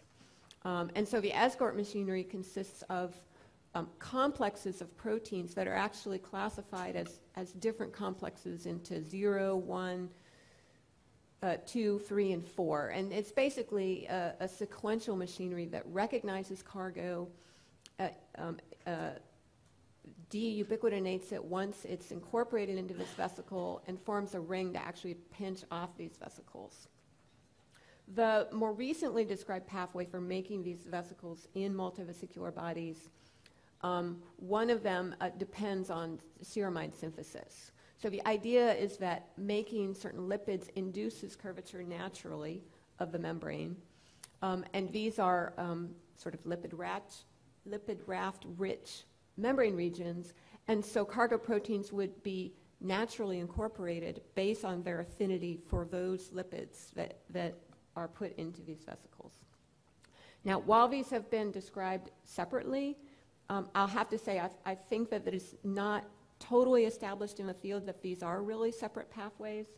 So you can imagine a, a scenario where there's some cargo that's recognized by the escort machinery, um, but that lipid curvature could come into play as well to cooperate with um, cargo recognition, curvature, and membrane pinching off. And so this is an area that I think is still being um, explored. But uh, in some cases, it does look like certain proteins, such as this PLP protein, are um, dependent more on one pathway than, than another. Um, and also, there's a third pathway that's been described that uh, involves uh, tetraspanins. PLP is a tetraspanin like molecule, but tetraspanins also can form these organized membrane regions they're very prominent cargoes in exosomes, often used as markers, and um, it's been shown that at least for one protein, they can organize those and, and induce those cargoes to go into exosomes. Okay, so that's a lot of detail about exosomes. What, what about microvesicles? Um, so this is uh, also a heterogeneous group of vesicles that gets released from cells. I would say these are a bit less characterized than exosomes in terms of how they're made and um, uh, released from cells. Um, but there have been several mechanisms that have been described. So um, one is these uh, sort of large, larger vesicles that can get released from cells. And in fact, very large vesicles um, called large oncosomes can get released from um, cancer cells, but potentially other cells could do this as well. And um, a, a major factor there for these really large vesicles is uh, involves actually cytoskeletal reorganization. So membranes from cells tend to bleb when the actin uh, cortex that's here is weak, and so the plasma membrane can kind of bleb out from these actin poor areas. And this also depends on contractility, so by myosins to sort of force those blebs out and um, help promote pinching off. Um, small GTPase ARF6 has also been implicated in um, release of these microvesicles.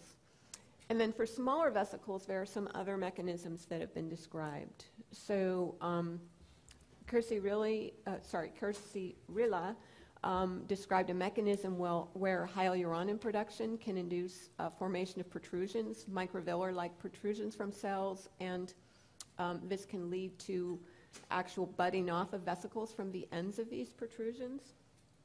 Um, so again, maybe a charge kind of um, uh, mechanism uh, forces these changes in the, in the, lipid curvature potentially.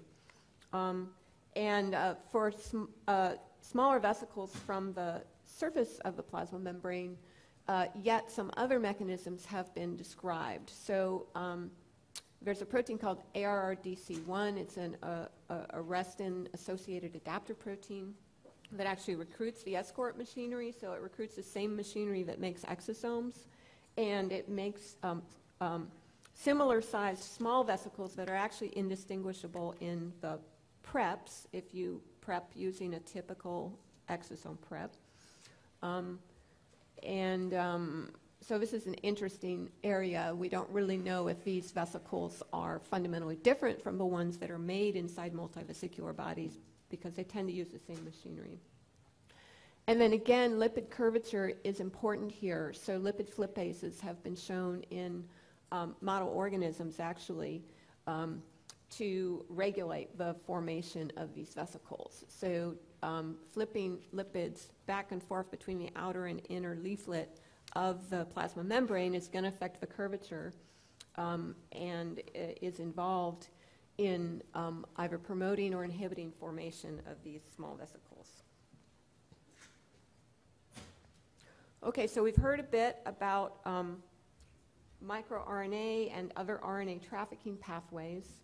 Um, and this is an example of a cytosolic um, uh, component that gets trafficked specifically. So I, I told you already about membrane-bound endocytosed cargoes or membrane-bound blebbed cargoes. But what about these cytosolic components? Um, so uh, RNAs and microRNAs um, can get out of a cell in a variety of ways. So uh, they can come out uh, inside of exosomes. They can um, come out as protein-associated complexes. Um, they're also found on the outside of lipoproteins like uh, high-density lipoprotein. And also RNAs are incorporated into these larger um, microvesicles. So just to get back to these different cargo sorting mechanisms, so the ones I, I, I, already described for you had to do with membrane-bound cargoes. Um, but it's um, in, in many ways a bit more unclear how cytosolic cargoes actually get into these exosomes. So there are some proteins that are known to bind to RNAs um, that can carry uh, RNAs but it's not really clear how they themselves are specifically associating with the machinery that makes these vesicles to get in. Um, so the, the, one of the first examples um, for specific um, you know, targeting of uh, microRNAs into exosomes uh, was uh, this HNRMP A2B1 protein. And um, one thing that's interesting about this protein is um, that it becomes uh, sumoylated, and this allows it to specifically recognize the, the, the motif in the microRNAs that it carries in. And so it's only the sumoylated form that, that goes into those exosomes. Um, and uh, it was not really clear uh, at the time what the mechanism is for this sumoylated protein to actually sort with the membrane. Um, but there was a recent paper um, that showed for alpha synuclein, which is a pathogenic protein in Parkinson's, that it could be uh, simulated and this could link it to escorts to take it into exosomes. So one possibility which I think needs to be explored is that uh, SUMO, uh, which is a similar modification to ubiquitin, which is well known to connect to the escorts, could be a second method um, to uh, go into um, vesicles. Um, but I have to say this is somewhat speculation because it's also been reported that um, uh, RNAs uh, often depend on the ceramide pathway to get into uh, exosomes, although how that happens is, is unclear. So I think this is an area that really needs to be fleshed out a lot more. Um, I do want to mention that some additional RNA binding proteins can sort uh, microRNAs into uh, uh, EVs. Um, so actually, we uh, showed that AGO2 can be specifically sorted into exosomes. Um, however, this is regulated by a signaling event that takes place on late endosomes. So there's a KRAS to MEK uh, signaling event that will phosphorylate AGO2 and remove it from multivesicular endosomes so that it sorts to processing bodies instead. Um, so if that signaling is active, you're going to see very little AGO2 in the exosomes. If it is not active, for example, in serum-starved cells, then uh, you're likely to see much more AGO2, um, and it will carry some microRNAs with it. Some other examples of RNA binding proteins, I already mentioned HNRMPA2B1. There's a protein called Syncrypt that specifically recognizes some microRNAs. And uh, recently, YBX1 protein was also shown to recognize um, uh, some specific microRNAs. So in terms of the biogenesis, again, so how are these RNA binding proteins getting into exosomes, and are they in a certain population of exosomes? Um, it does appear that at least for two of these, some RNA binding proteins are found in CD63 positive exosomes. So these are um, a tetras- this is a tetraspanin. So I told you these tend to go into these lipid ordered um, domains called tetraspanin en- enriched microdomains. And um, we actually, uh, this is again from our um, paper in Cell Reports, um, we found that if we immunoprecipitated exosomes with a CD63 antibody, um, we could, uh, so this is showing CD63 uh, coming down and not in our um, control IgG immunoprecipitation. The CD63 is depleted from a supernatant here, not with the IgG. Most of the AGO2 is depleted from the supernatant and ends up in the IP. But interestingly, TSG101, which is an escort protein, a little of it comes down in the IP, but most of it is actually not depleted from a supernatant, suggesting that these populations are not identical um, and that there may be enrichment in the CD63 positive population. And in addition, the YBOX1 um, paper also used a CD63 immunoprecipitated exosome population um, uh, to um, uh, identify and find their um, specific RNA binding protein RNA um, interaction. So, at least for two examples, um, this seems to be the case.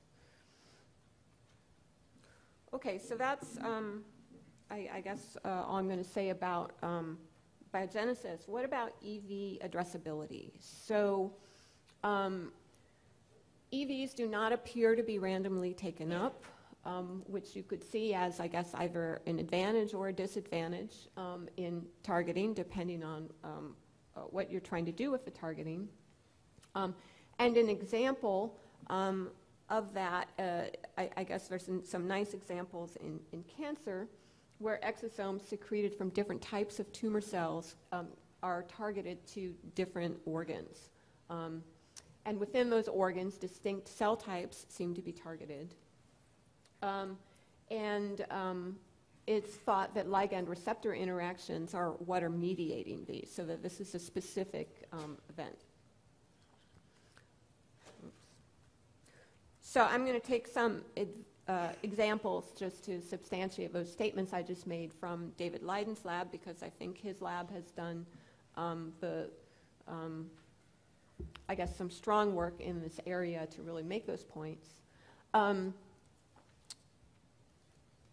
and so this is an example of uh, work from his organotropism paper um, where he showed that exosomes from different cancers are, are preferentially taken up by different tissues.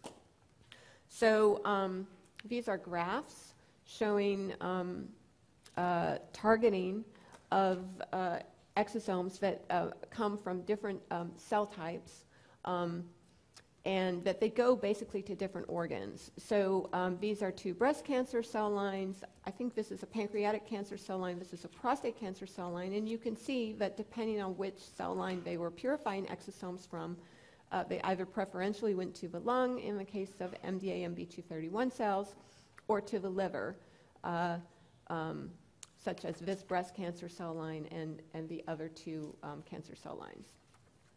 And if they took um, 231 cells that had been passed through mice and had a specific tropism, um, either for um, bone, lung, or brain, what they found was that uh, even though they, they originally came from the same cell line, um, the ones that had been, um, I guess, selected to have tropism for different organs, that the exosomes were taken up preferentially by those different organs. So the bone ones um, uh, they didn't look at bone, but they found that they were more in the liver, the lung ones more in lung, and the brain ones more in brain. And um, they looked a lot at integrins and did a profiling of integrins on the exosomes and how that related to the different organs that these exosomes were being taken up in. Um, and they validated for a specific integrin, um, alpha 6 beta 4, that that was important for exosomes going to the lung. So this is a nice example where they um, made exosomes that were purified from either um, integrin beta 4 knockdown cells or they took exosomes and used in uh, um, RGD inhibitory peptide or laminin receptor inhibitory peptide. And as alpha 6 beta 4 is a laminin receptor, they had uh, better success with the laminin inhibiting uh, peptide than the RGD. And the, the knockdown exosomes did not uh, get taken up in the lung uh, as, um, as much as the control exosomes. And I'm sorry, I hope that you can see this, but there, there should be more, more red here in the control situation. These were dye-labeled exosomes. In addition, the state of a cell that secretes the exosomes will likely determine the binding and the uptake. So basically, exosomes are somewhat a, a, snapshot of a cell. So a snapshot not only of the proteins uh, overall that a cell is making, but also the state of the cell because things are actively and specifically targeted to extracellular vesicles.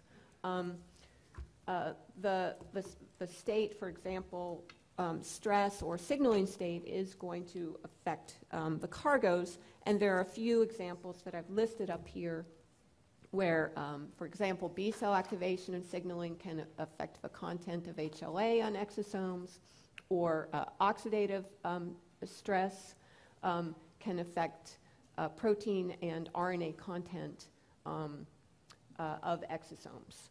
And, and, so this is important because we, of course, think that the, the cargo is what's going to affect the, the function um, in recipient cells, but it will also affect the addressability of these exosomes um, and, and target cell uptake. Okay, so how might you identify uh, EV cargo topology? This is um, uh, something that um, can be important for multiple reasons. One is just to try and understand um, where a protein or RNA is, um, and, and also as a kind of control just to look at the purity of your preparations. Um, so um, mostly these are antibody based. Um, and uh, uh, actually, the top one here, here's an example from um, one of um, uh, my papers, but actually we adopted this method um, based on a paper from Sandra Breakefield's lab, um, uh, which was Lai et al. in Nature Communications, and it worked for us immediately, so we like it very much. And basically what you do in this is you just dot different amounts of uh, exosomes on a dot blot, and then you probe your dot blot with an antibody, just like you would a Western blot, um, but you do it either in the presence or absence of 0.1% tween 20, which basically permeabilizes um, but doesn't destroy the exosomes, and it allows you to determine whether your cargo is on the inside or the outside of the exosomes. And so this is our positive control, which is uh, we use an antibody to an extracellular loop of CD63, and we detect that both in the absence and presence of detergent.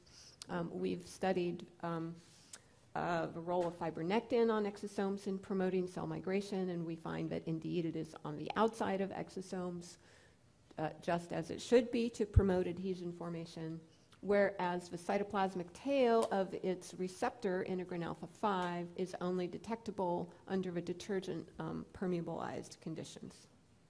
Um, and we have actually used this to show that AGO2 is on the inside of exosomes in our preparations as well, which is important since um, uh, AGO2 can also be found in non-vesicular preparations carrying RNAs.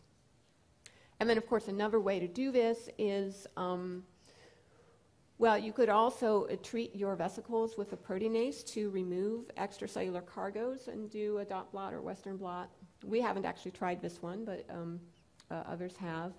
And um, immuno-EM is another way to look at where the, the, the cargoes are um, uh, with respect to um, the vesicles. Okay, so how about uptake? So depending on what it is um, that the vesicle is doing, it may need to be taken up and fused with the cell. So if you're trying to deliver like an RNA, um, then uh, it has to fuse in some way. And um, this could happen on the plasma membrane, but, but most people have found that um, vesicles are most uh, efficiently taken up by endocytosis. So if you dye label an exosome or otherwise label it uh, with like a GFP CD63, you'll see that most of it gets taken up um, inside the cell via endosomes. And so, um, and, and they've been shown to be taken up via a variety of uh, endocytic pathways, so both clathrin-mediated phagocytosis, macropinocytosis, basically you name it, it can get into endosomes um, via virtually any pathway. Um, and then uh, would need to fuse um, uh, in order for those contents to um, uh, be accessible.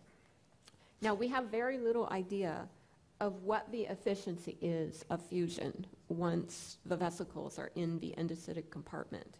Um, so I think that this is something that um, a lot of people are interested in and working on, but um, uh, it's going to take some engineering of reporters and some, some careful, careful work um, to figure out what is the efficiency and how do we quantitate that.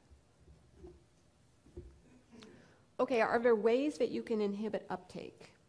Um, there are some ways. I'm not sure that I'm convinced that any of these are really great ways, um, but I'm mentioning some of them here. So um, you could inhibit binding, this doesn't really help you very much. So if you, you know, trypsinize the outside of your vesicles, they won't be able to bind to the cell um, and be taken up or fused. Um, uh, or you could use neutralizing antibodies. Um, you can inhibit endocytosis, and there are a couple of drugs that um, you could use to do this. One is called Dinosaur, which inhibits dynamin. Um, another is called Pit Stop, which inhibits clathrin. Um, and um, both of these have been used. However, they are described to have off-target effects as well. So one would have to keep that in mind. If you were seriously interested in inhibiting um, endocytosis and looking at this, you, you probably uh, might need to validate it by like an uh, siRNA or shRNA um, of these molecules.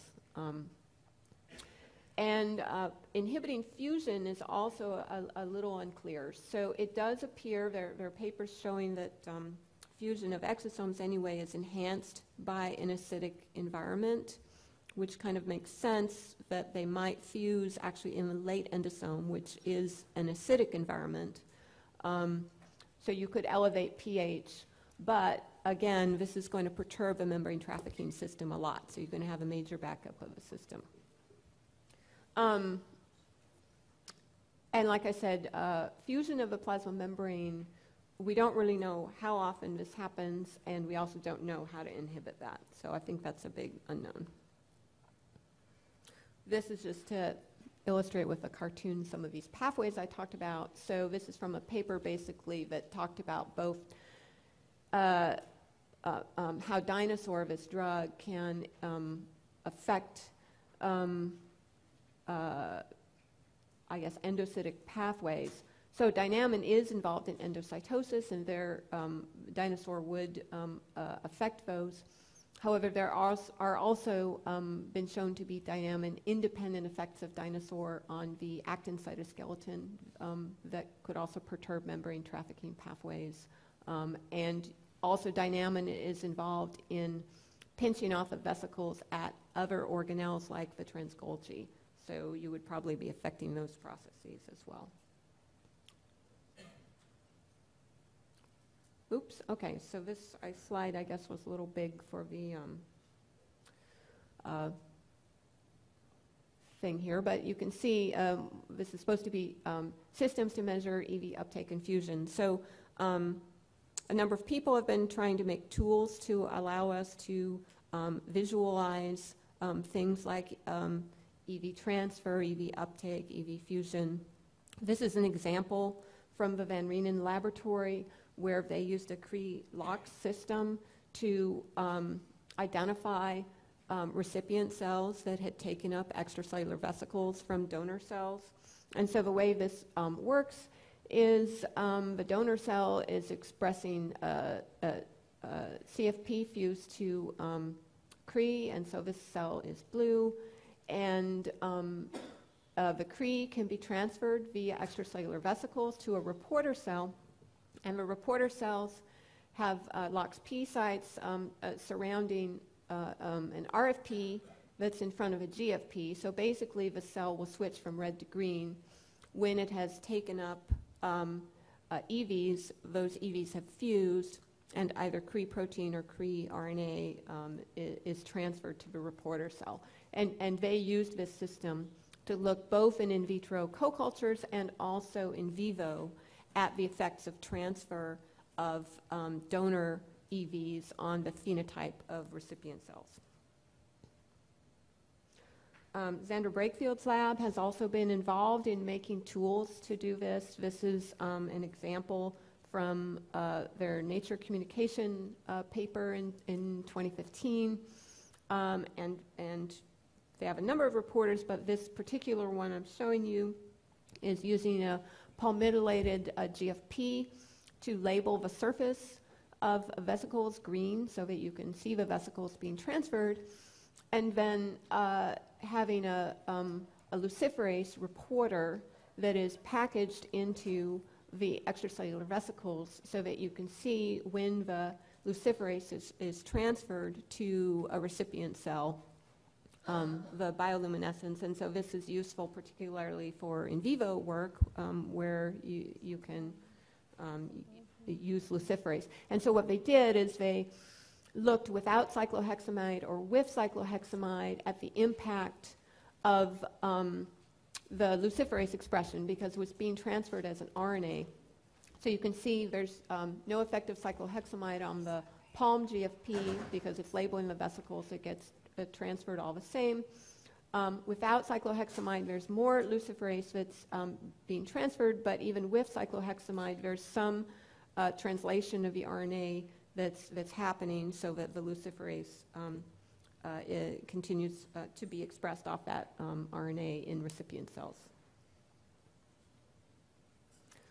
Okay, so just to summarize, time to wrap up. Um, there are multiple biogenesis pathways. This is obviously still an active area of research in the field. This leads to different sorting mechanisms. Although the escort pathway is the most characterized for exosomes, there are still some confusing points. Um, for example, I didn't really talk about this, but there are some redundant components, and also there's some cross-talk um, with uh, other mechanisms. And I would say, this just my opinion, that the sorting of cytosolic proteins and RNAs is the least understood of how they actually connect with the membrane machinery and get into the vesicles. And for binding and uptake, um, binding seems to determine the addressability and uptake of EVs, so this is important for therapeutic applications if you're trying to target these EVs to a specific recipient cell. I think uptake at this point is hard to inhibit cleanly, but it does look like most of the uptake happens through endocytosis, so that's, excuse me, a place to start. And um, uh, some fluorescence and luciferase-based systems exist for tracking EV transfer, and fusion, and I think more are likely to be on the way. So this is my laboratory, and um, hopefully some of you will go next week to ISEV. This is a big society for extracellular vesicles, and for those of you that are not going to the meeting next week, they also have um, massive online courses that are educational for extracellular vesicles that are really good. So if you want to learn more, that's another place to go. Thank you.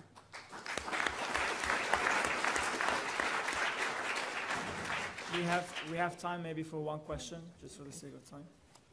So, um, give, given um, what you showed about the biogenesis of, the, of these vesicles, has anyone tried to block lysosomal biogenesis as a means of increasing the output from uh, um, exosomes? So it's, they're, they're competing pathways, so They are competing pathways, and that's a good question. I, I would expect that it would increase, but I, I also think it would have really detrimental effects on cells to block lysosomal biogenesis. Um, but I, I don't know of any studies where anyone has tried to do that. Thank you. very much. Thank you for